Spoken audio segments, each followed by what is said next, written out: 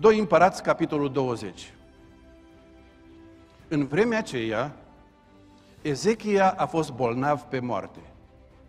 Prorocul Isaia, fiul lui Amoț, a venit la el și i-a zis, Așa vorbește Domnul, rânduiește ce ai de rânduit casei tale, căci vei muri, nu vei mai trăi.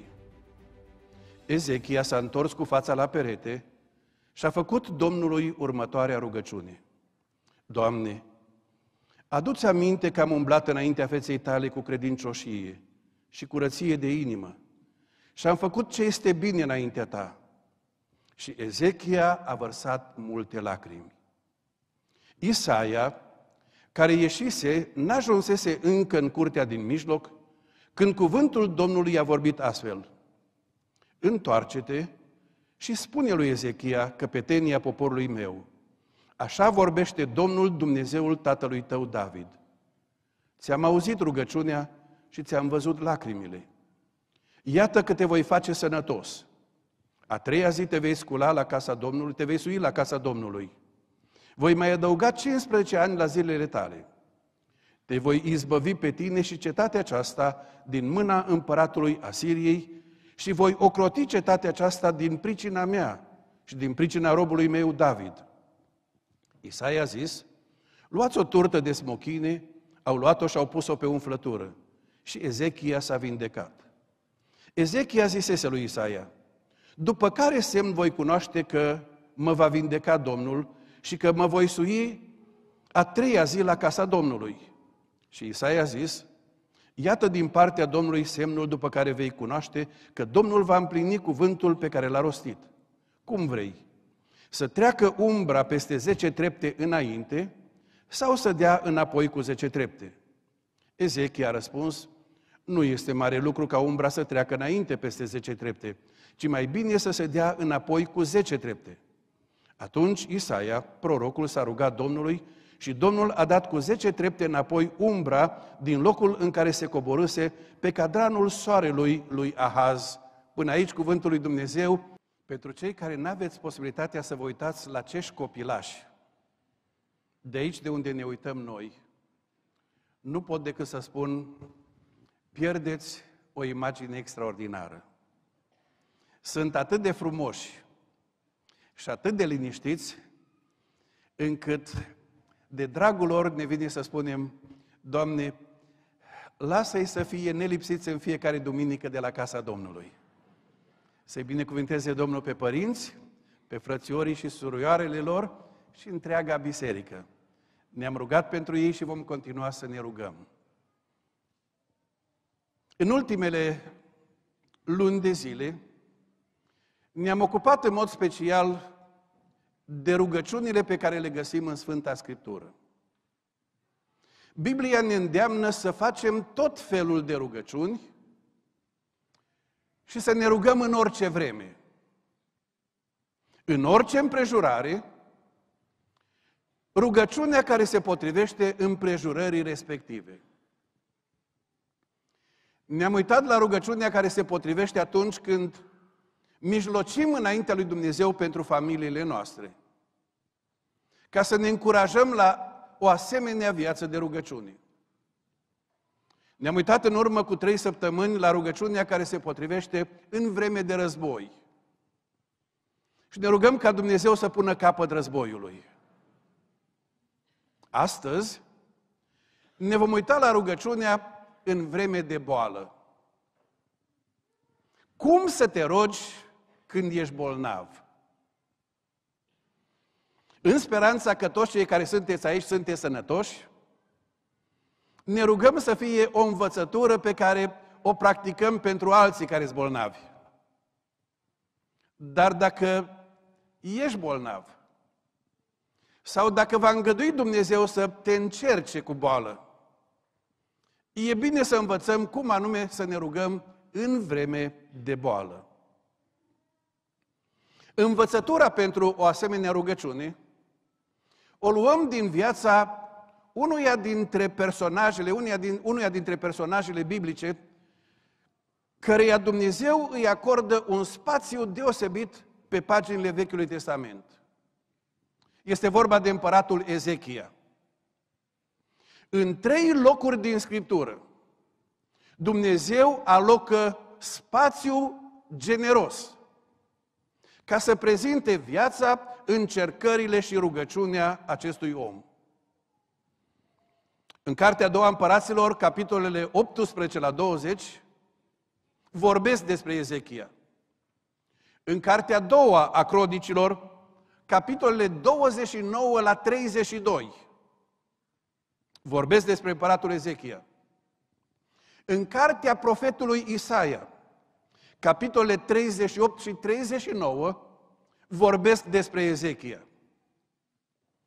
Și în mod special, textul pe care l-am citit ne relatează rugăciunea lui Ezechia atunci când a fost bolnav. Dar ca să înțelegem mai bine rugăciunea lui și răspunsul lui Dumnezeu la rugăciunea lui, e important să cunoaștem câteva lucruri despre omul acesta. Mai întâi copilăria lui. Oare în ce familie s-a născut? Și de ce educație a avut parte? Biblia ne spune că s-a născut în casa împăratului lui Iuda, pe nume Ahaz. Tatălui Ezechia a fost unul dintre cei mai destrăbălați oameni din istoria Vechiului Testament. N-a existat om mai stricat ca împăratul Ahaz în regatul de sud al lui Iuda. Omul acesta, în rătăcirea minții lui, a dărâmat altarul lui Dumnezeu de la templu și l-a înlocuit cu un altar păgân. Și a dus la templul lui Dumnezeu jerfe idolilor. A umplut Ierusalimul cu altare păgâni. A înălțat statui zeităților vremii Baal și Astateia. Și a dus țara într-o decădere morală incredibilă. A dus în țară toate urăciunile păgâne. Într-o asemenea casă s-a născut Ezechia. Oare cum va crește? Cum va crește un copil care are un asemenea tată?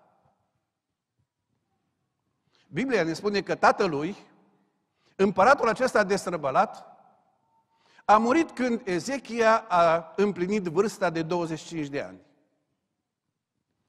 Și la vârsta de 25 de ani a ocupat tronul pe care l-a lăsat tatăl său. Și acum vă rog să deschideți la 2 Împărați, capitolul 18. În al 14 an al împăratului Ezechia, 18 capitolul 1, în al treilea an al lui Ioseia, fiul lui Ela, împăratul lui Israel, a început să domnească Ezechia fiul lui Ahaz, împăratul lui Iuda. Avea 25 de ani când a ajuns împărat și a domnit 29 de ani. Mama sa se chema Abi, fata lui Zaharia.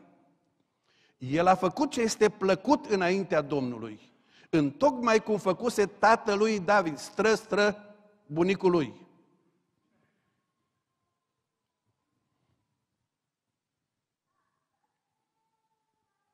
A îndepărtat înălțimile, a sfărâmat stâlpii idolești, a tăiat arstateile, a sfărâmat în bucăți șarpele de aramă pe care îl făcuse Moise, căci copiii lui Israel arseseră până atunci tămâie înaintea lui, îl numeau Nehuștan.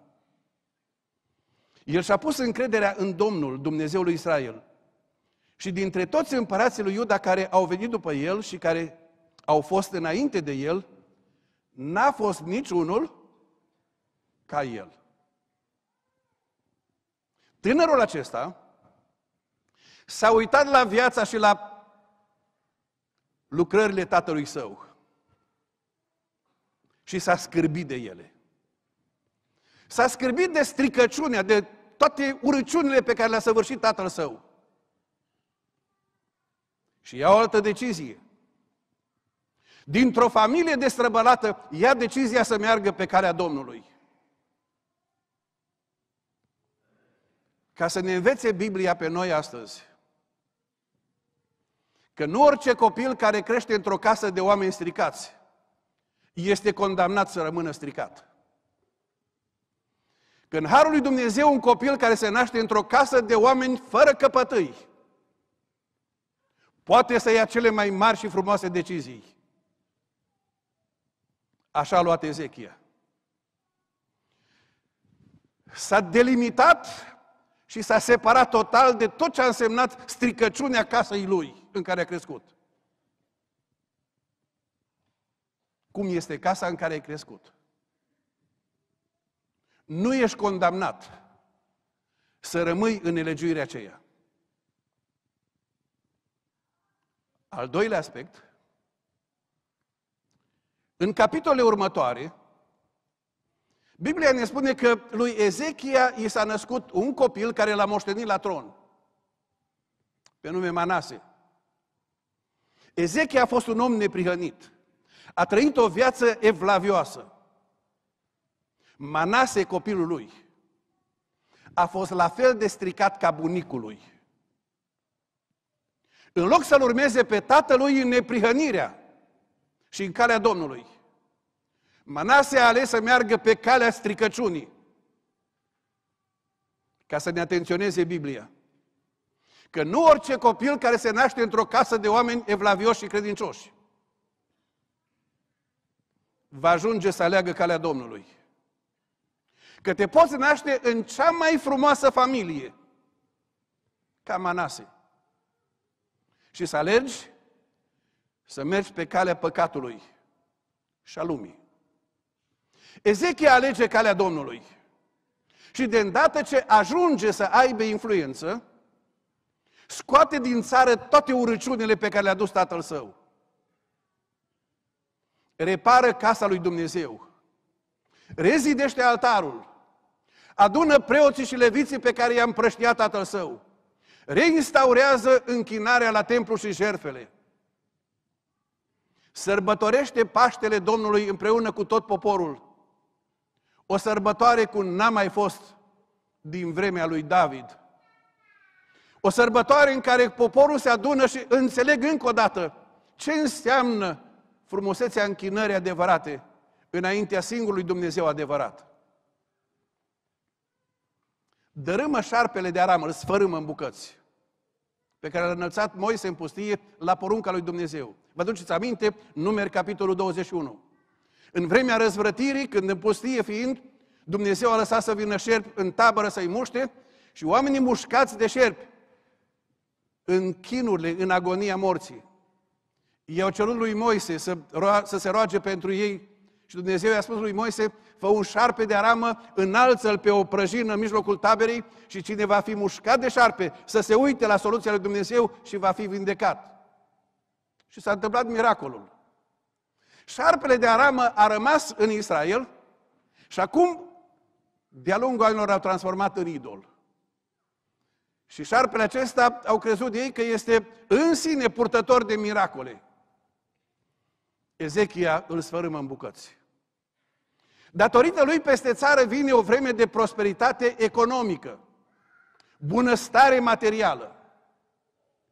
Și datorită lui, țara se repoziționează pentru că tatăl său a dus țara într-o stare de vasalitate față de Asiria.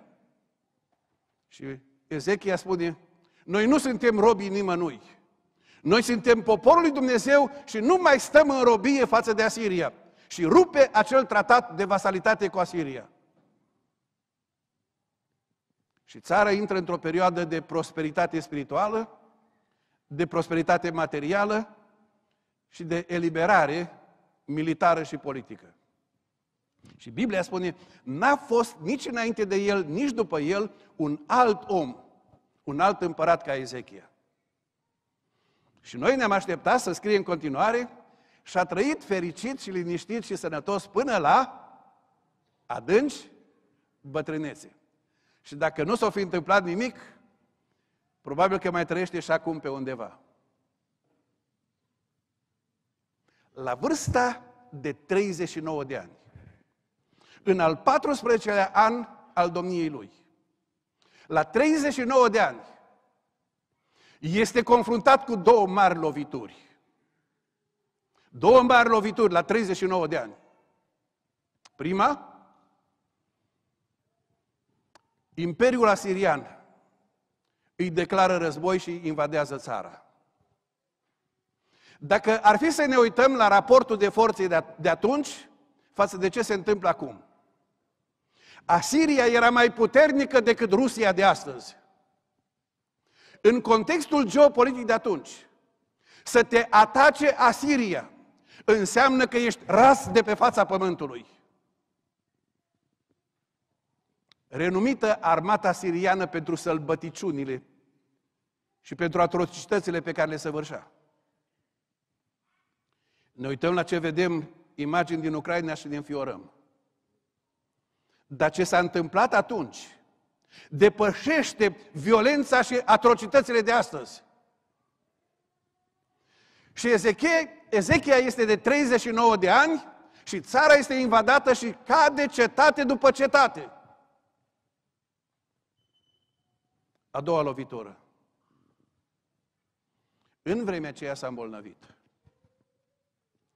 S-a îmbolnăvit și n-a făcut o boală din asta sezonieră, o gripă care trece într-o săptămână, ci Biblia spune, în vremea aceea Ezechia a fost bolnav și ce scrie în continuare? Pe moarte. O boală teribilă. Țara invadată. Și el bolnav. Și bolnav pe moarte. Asta înseamnă că boala aceea este atât de gravă încât omul acesta este pe patul de moarte. Și în timp ce este pe patul de moarte, probabil înconjurat de medicii vremii și de servitorii lui, cineva îl anunță că au un vizitator deosebit, deosebit de important că vine să-l viziteze pe patul lui de moarte profetul Isaia. În vremea aceea, profetul Isaia era mai renumit și cu autoritate spirituală mai mare decât a fost Billy Graham în secolul 20. Imaginează-ți că ești bolnav, ești grav, n-ai niciun fel de șansă medicală, și vine omul lui Dumnezeu Isaia. Imaginează-ți că ești la terapie intensivă. Și vine să te viziteze omul lui Dumnezeu Isaia. La ce te aștepți? La ce te aștepți dacă vine un om de asemenea greutate spirituală? Ce ai vrea să spună Isaia? Ce ai vrea să spună? Și acum vă rog să ascultați. Prorocul Isaia, fiul lui Amoț, a venit la el și i-a zis, așa vorbește Domnul. Ce am să-ți transmit nu este opinia medicilor și nu este dorința ta și a rudeniilor. Ce am să-ți transmit este mesaj de la Dumnezeu din cer. Ce ai aștepta să spună Dumnezeu din cer? Și ce urmează este ceva care te înfioară. Așa vorbește Domnul. Rânduiește ce ai de rânduit casei tale, căci decizia lui Dumnezeu este clară. Vei muri și nu vei trăi. Imaginează-ți o asemenea veste. Acum, și în lumea medicală, și în familii, este o dezbatere deosebit de interesantă. Să-i spui omului care este diagnosticat cu o boală grea terminală, să-i spui adevărul sau să nu-i spui adevărul. Să-i spui unui om care a fost diagnosticat cu cancer, care are cancer. Sau să-i spui că e o boală, dar operația a reușit și o să se facă bine. E dezbatere și în lumea medicală și între oameni. Unii spun este important să-i spui bolnavului ce să-i spui? Adevărul. Alții spun dacă îi spui adevărul, îl îngrop și mai tare. Ce ai vrea să spună medicul? Adevărul sau neadevărul? În dreptul meu, eu vreau să știu adevărul. Alții ar vrea să n-afle adevărul. Interesant este cum procedează Dumnezeu. Așa vorbește Domnul. Puneți casa în rânduială. Pregătește-te pentru plecare. Ia deciziile care se cuvin și care sunt potrivite. Decizia lui Dumnezeu este limpede. Vei muri, nu vei trăi. După ce transmite mesajul acesta, Isaia pleacă. Cum mai rămâne după o asemenea vizită? Ce ar zice cei din familie? Mai bine n-ar fi venit. Asta mai lipsea acum.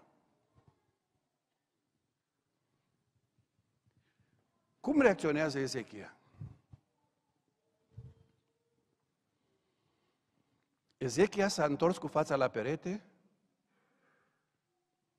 a făcut Domnului următoarea rugăciune și a vărsat multe lacrimi. Vă rog să vă imaginați, este împăratul. Sunt servitorii. Se întoarce cu fața la perete pentru că este în patul care poate să-i devină catafalc. Se întoarce cu fața la perete ca să nu mai vadă pe nimeni. Să nu-i distragă atenția nimeni și nimic. Și cu fața la perete se roagă celui care este Domnul și Dumnezeul lui. Rugăciunea este interesantă. Doamne, aduți aminte că am umblat înaintea feței tale cu credincioșie și curăție de inimă. Și aduți aminte că am făcut ce este bine înaintea ta. Știți ce spune Ezechia? Doamne, sunt la capătul drumului, dar aduți aminte că viața pe care mi-ai dat-o n-am trăit-o pentru mine, ci am trăit-o pentru slava ta. Anii pe care mi-ai dat până acum nu i-am risipit. Nu mi-am bătut joc de ei. Anii pe care mi-ai dat sunt ani pe care i-am investit pentru lucrarea ta. Aduți aminte, Doamne. Că nu mi-am bătut joc de sănătatea pe care mi-ai dat-o până acum. Întoarceți, vă rog, acum la cartea profetului Isaia 38. Cartea profetului Isaia 38. Isaia ne redă câteva secvențe din rugăciunea lui Ezechia, pe care le menționează Ezechia într-o cântare de laudă pe care i-o aduce lui Dumnezeu după ce a fost vindecat.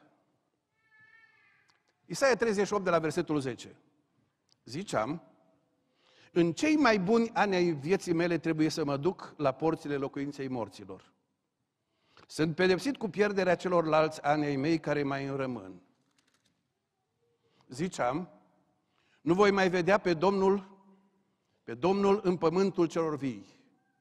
Nu voi mai vedea pe niciun om în locuința morților. Locuința mea este luată și mutată de la mine ca o colibă de păstori. Îmi simt firul vieții tăiat ca de un țesător care mă rupe din țesătura lui. Până de seară îmi vei pune capăt. Am strigat până dimineața, ca un leu îmi zdrobise toate oasele. Până seara îmi vei pune capăt. Ciripeam ca o rândunea. Croncăneam ca un cocor. Gemeam ca o, ca o porumbiță. Ochii priveau topiți spre cer. Doamne, sunt în necaz, ajută-mă! Ce să mai spun? El mi-a răspuns și m-a ascultat. Acum voi umbla smerit până la capătul anilor mei după ce am fost întristat astfel. Doamne, prin bunătatea Ta se bucură omul de viață, prin ea mai am și eu suflare. Căci Tu mă faci sănătos și îmi dai iarăși viață. Iată, chiar în suferințele mele erau spre mântuirea mea. Tu ai găsit plăcere să-mi scoți sufletul din groapa putrezirii, căci ai aruncat înapoi a ta toate păcatele mele, căci nu locuința morților te laudă, nu moartea te mărește, ci cei ce s-au pogorât în groapă nu mai nădăjduiesc în credincioșia ta, ci cel viu, da, cel viu te laudă, ca mine astăzi.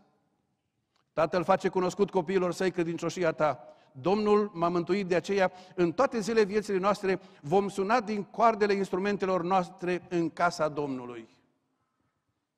Ezechia spune, Doamne, uită-te la modul în care mi-am trăit viața până acum.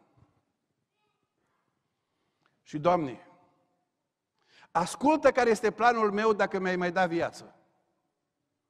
Ce aș face dacă mi-ai mai dat zile? Doamne, încă nu cred că mi-am terminat lucrarea.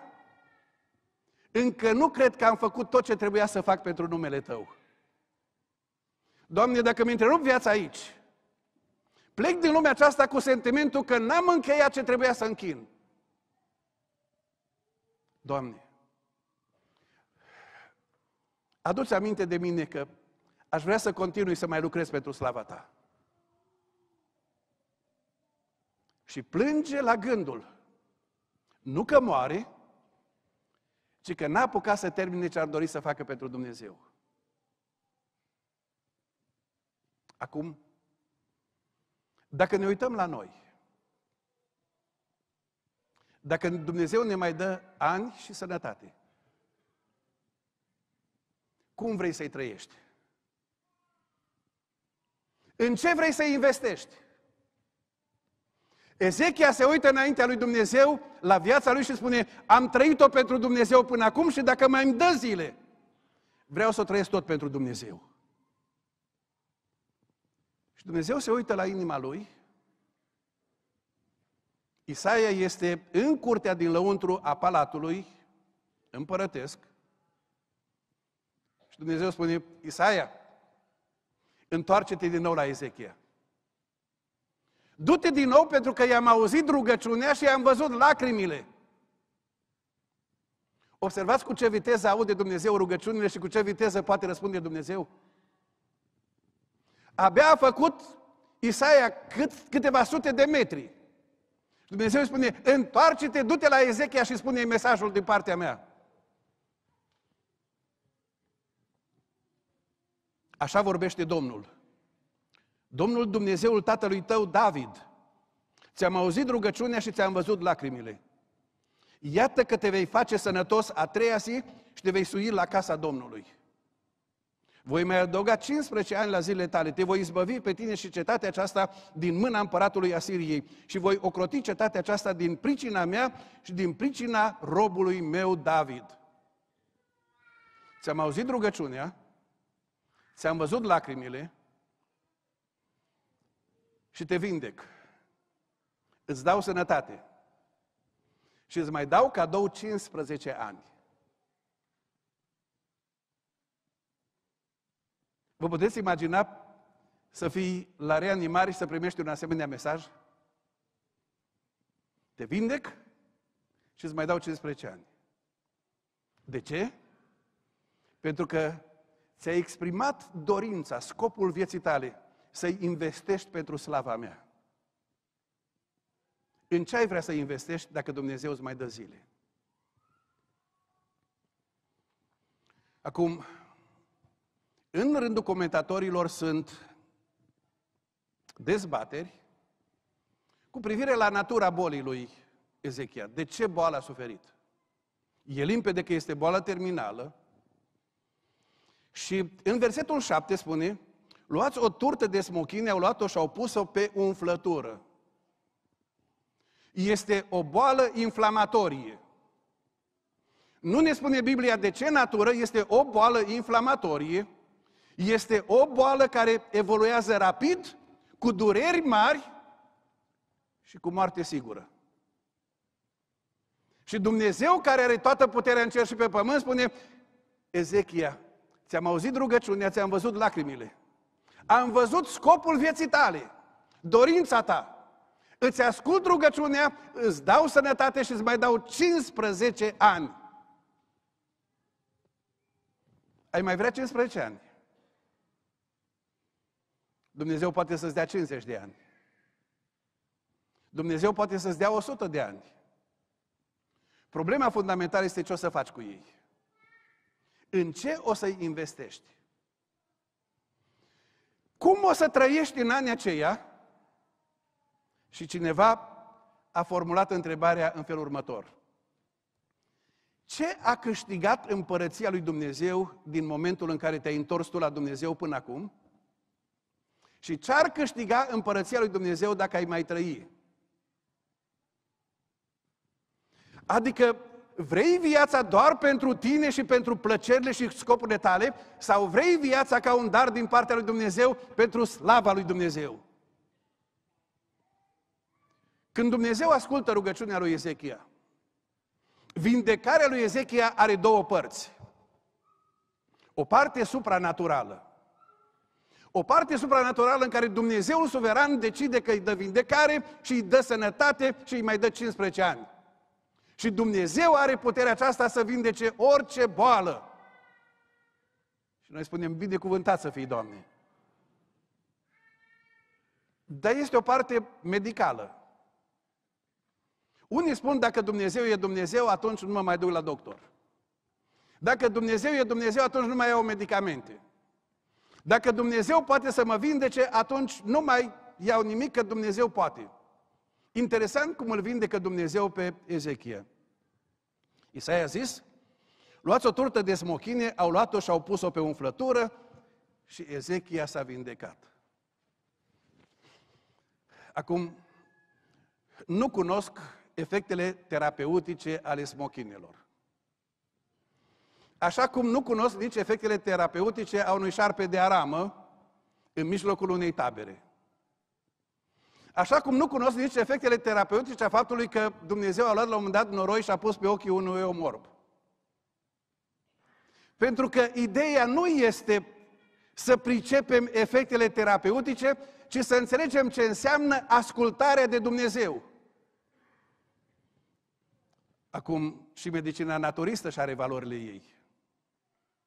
Și n-aș vrea cumva să creadă cineva că de aici încolo nu mai trebuie să bem ceaiuri sau să mâncăm sănătos. Da atenție că toate astea trebuie făcute cu oarece pricepere. Cunosc pe cineva care, având un sindrom varicos deschis, deci varice deschise la picior, ascultat de cineva care a spus să pună frunză de bolundaică pe rană deschisă. A pus frunză de bolundaică și a făcut o infecție incredibil de urâtă. Acum nu vă apucați să vă tratați cu tot felul de lucruri zicând, mă duc acasă și pun pe mine smochinii. Ce spune Biblia aici este, atunci când Dumnezeu îți dă și o variantă și cealaltă, și spirituală și naturală, ia din mâna lui Dumnezeu pe amândouă. Nu sunt puțini medici care spun, eu te operez, dar Dumnezeu te vindecă. Da? Eu te operez, dar Dumnezeu te vindecă. Este această îmbinare pe care Dumnezeu o dă lui Ezechia ca să ne atragă atenția că rugăciunea noastră și răspunsul lui Dumnezeu nu anulează ceea ce Dumnezeu ne dă prin medici. Și avem în biserica noastră mulți, mulți medici și asistente medicale și zicem să-i binecuvinteze Domnul. Și să-i facă cei mai buni medici și cele mai buni asistenți medicali din toată lumea asta. Așa credem noi că sunt. Dumnezeu răspunde. La o boală care este terminală, la o boală gravă, la o rugăciune sinceră în care cere lui Dumnezeu sănătate, vindecare, nu de dragul mofturilor și ambițiilor lui, ci de dragul lui Dumnezeu. Dumnezeu îi dă lui Ezechia și confirmarea. Peste trei zile o să te duci la casa Domnului. Adică în trei zile te-ai refăcut, organismul tău este în stare de funcționare și o să mergi pe picioarele tale la templu. Și Ezechia îl întreabă pe Isaia. Auzi? Îmi spui și mie pe ce anume voi cunoaște că ceea ce îmi spui tu e adevărat? Sună așa de frumos, dar aș avea nevoie de un semn care să îmi dea încredere că ce îmi spui e adevărat. Și aici este o paralelă interesantă între Ezechia și tatălui, Ahaz. Când Ahaz a fost confruntat cu o situație deosebită, cu amenințare din partea Siriei și din partea lui Israel, Isaia s-a dus la tatălui Ezechia și a spus, cere de la Dumnezeu un semn. Ahaz care hotărâse că merge pe altă care decât care Domnul a zis, nu, nu vreau să cer un semn, nu vreau să ispitesc pe Domnul. Și Isaia spune, până când vrei să obosești pe Domnul? Iată că Dumnezeu îți dă un semn și dă un semn, iată fecioara va rămâne însărcinată și va naște un fiu și vei pune numele Emanuel. Atunci când Ahaz se îndreaptă cu toată inima spre idolatrie, Dumnezeu spune, îți dau un semn care rămâne peste veacuri. Și semnul este Emanuel, se naște Emanuel. Și noi știm că este profeție pentru nașterea Domnului Isus Hristos. Și acum băiatul lui, Ezechia, este în situația în care primește o asigurare de la Dumnezeu și spune, dăm te rog un semn că așa o să fie. Și Isaia spune, uite care e semnul. Din vremea lui Haz era un cadran solar care indica vreme, ceasurile, perioada zilei. Era făcut în trepte și la fiecare treaptă soarele mergea cu un ceas mai înspre apus. Și Isaia spune, Ezechia, alege tu. Dumnezeu îți dă semnul, dar tu alege cum vrei semnul. Umbra să meargă dintr-o dată cu 10 trepte înainte, deci cu 10 ceasuri înainte, sau umbra să meargă cu 10 ceasuri înapoi. Dacă ar fi să alegi tu care, pe care ai fi ales-o. Ezechia este un om care gândește. Spune, să zic să meargă umbra înainte, ăsta e mersul ei firesc. O să zicem că, da, probabil că mi s-a părut nouă. Dar aș vrea să fie ceva care e neobișnuit. Umbra să meargă invers.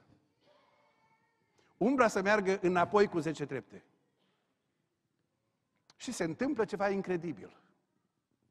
Umbra soarelui se dă înapoi cu 10 ceasuri. Comentatorii se întreabă, ce a făcut Dumnezeu? A mișcat pământul, a mișcat soarele, a mișcat, mișcat și pământul și soarele? Și răspunsul meu este, Dumnezeu și-a împlinit promisiunea. Exact ce a făcut Dumnezeu, știe Dumnezeu ce a făcut. Dar i-a dat lui Ezechia confirmarea. Și acum ne întrebăm de ce toate astea. De ce l-a trecut Dumnezeu prin toate astea? Nu putea Dumnezeu să lucreze cu omul acesta în așa fel să nu treacă prin toate acestea? Oare ce avea Dumnezeu dincolo de ce vedem noi? Și sunt două lucruri. Primul, întoarceți la capitolul 18 din 2 împărați, versetele 13, în continuare, la 15.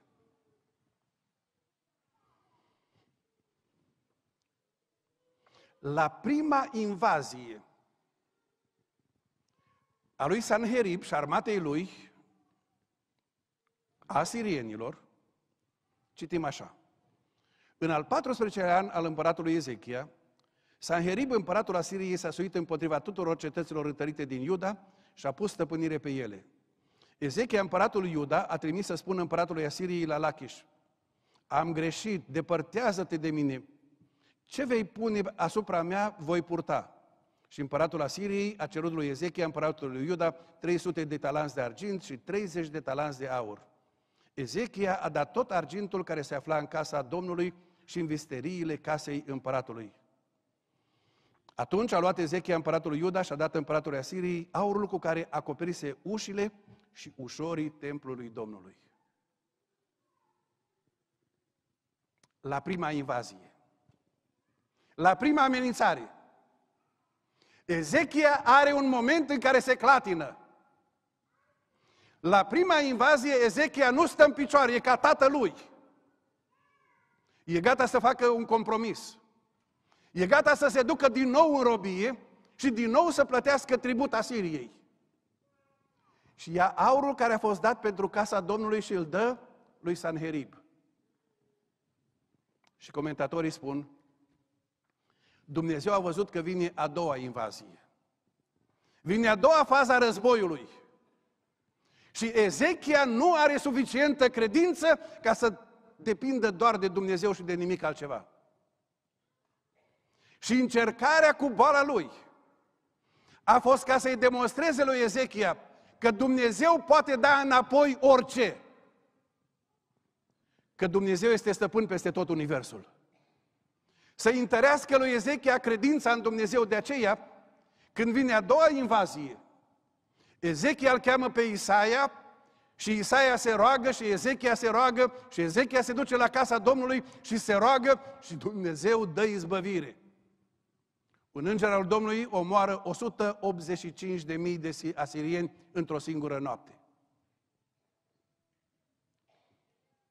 Este încercarea credinței, care mai prețioasă ca aurul care trece prin foc. Este întărită de Dumnezeu prin focul încercărilor. Frate și soră, dacă trecem prin încercări, scopul lui Dumnezeu este să ne întărească credința să ne pregătească pentru biruințe următoare. Și din momentul acela, credința lui Ezechia este atât de tare în Dumnezeu încât nu se mai clatină în fața războiului. Al doilea lucru pe care Dumnezeu îl mai avea de făcut cu Ezechia. Dacă citim cu atenție, până la vârsta de 39 de ani, Ezechia nu are niciun copil, nu are urmaș. Și o să zicem noi, și dar s-a mai întâmplat și cu alții. Care e problema? Când citim genealogia Domnului nostru Isus Hristos din Evanghelia după Matei, acolo este prezentată linia mesianică. Și linia mesianică trece exact prin familia lui Ezechia, și prin cel care se naște din el. Promisiunea trebuia să meargă mai departe și Ezechia n-are copii. Și după întâmplarea aceasta, la doi ani de zile, soția lui rămâne însărcinată și naște și îl naște pe Manase. Despre care tocmai, tocmai v-am spus că ajunge un copil extraordinar de stricat și un împărat stricat. Și o să zicem, dar pentru asta, să ducă Dumnezeu istoria în felul acesta? Este ceva care ține de suveranitatea lui Dumnezeu. Dumnezeu își împlinește voia Lui, în ciuda a tot ceea ce face diavolul și ce fac oamenii răi. Dumnezeu își împlinește voia Lui. Și indiferent cum sunt oamenii, promisiunea că vine Hristosul este da și amin și se împlinește. Ce înseamnă asta pentru noi? Din toate promisiunile mesianice, din toate promisiunile lui Dumnezeu făcute pentru noi oamenii cu privire la viața și veșnicia noastră, a mai rămas una singură neîmplinită. Toate celelalte s-au împlinit. Știți care este singura încă neîmplinită și o așteptăm? Revenirea Domnului Isus Hristos din nou. Așteptăm revenirea Lui. Și în speranța revenirii Lui, ne rugăm ca Dumnezeu să lucreze în istoria generației noastre. Ne rugăm ca Dumnezeu să-și arate slava Lui. Dumnezeu duce istoria în, tot, în ciuda tuturor lucrurilor urâte care se întâmplă. Istoria merge spre punctul final. Cât de aproape suntem, nu știu. Dar suntem mai aproape decât toți ceilalți până în ziua de astăzi. Suntem atât de aproape. Și pe măsură ce cartea Apocalipsa ne duce din pas în pas cu lucrurile care se întâmplă pe pământ în așteptarea venirii Domnului, ne spune că pământul se va strica tot mai tare. Oamenii se vor strica tot mai mult. Pământul va deveni un loc atât de urât și de greu de suportat, încât oamenii credincioși își vor ridica ochii spre cer și vor avea o singură strigare. Știți care este strigarea? Vino, Doamne Iisuse! Vino, Doamne Iisuse! Rugăciune în vreme de boală. Cum ți-ai trăit viața până astăzi și cum vrei să o trăiești mai departe? Dumnezeu este Cel care știe câte zile ne-a dat fiecăruia și Dumnezeu este Cel care cântărește în cântarul lui drept tot ceea ce facem fiecare. Dumnezeu este Cel care știe ce vom decide cu viața și veșnicia noastră. Dar ca un Dumnezeu care este plin de har, un Dumnezeu al dragostei, l-a trimis pe Fiul Său în lumea noastră, ca să vină în lumea noastră, fără păcat, Fiul lui Dumnezeu din glorie, să vină în lumea noastră să spună, eu sunt calea, adevărul și viața. Dacă vrea să vină cineva la Dumnezeu Tatăl, este doar în baza jertfei mele. Câte zile mai e de trăit? Ne-am uitat cu drag la copilașii de aici. Ne rugăm să le dea Dumnezeu viață lungă și sănătate. Să le binecuvinteze părinții. Cu viață lungă și sănătate. Cum veți trăi de aici încolo ca părinți? Ne spune Biblia că Enoch, după ce i s-a născut un copil, a umblat cu Dumnezeu 300 de ani. Nașterea copilului a fost un punct de cotitură. A umblat cu Dumnezeu 300 de ani până când a plecat din lumea aceasta. Ne rugăm să umblați cu Dumnezeu. Dar ne rugăm pentru fiecare dintre noi. Doamne, dă-ne harul să umblăm cu Tine. Să investim în lucrurile care aduc onoare numelui Tău. Și sănătatea pe care ne-o dai. Să nu batjocorim în lucruri care ofensează numele Tău Vă invit să plecăm capetele rugăciune înaintea Domnului.